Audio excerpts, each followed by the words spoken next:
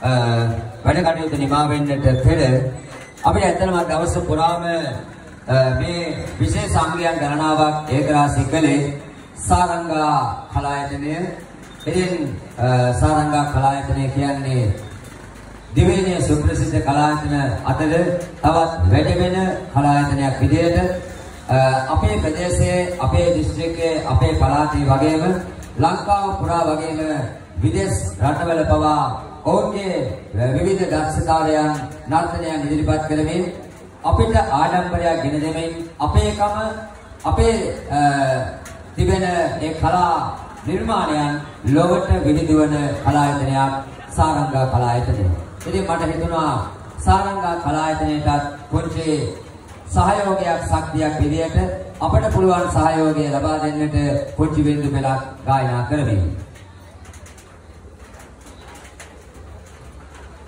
सारङ्गाकलायतने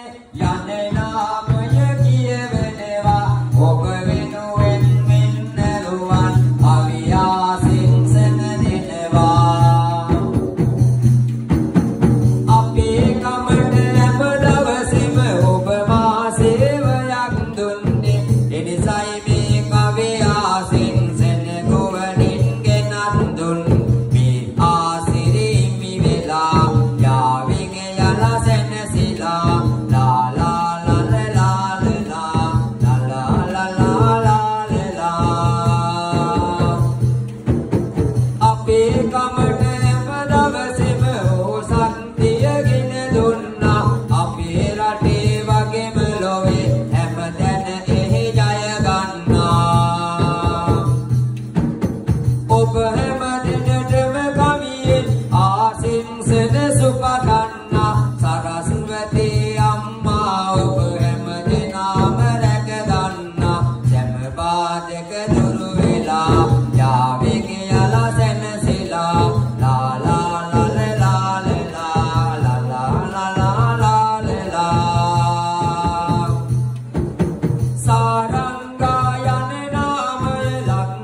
sopa del rey.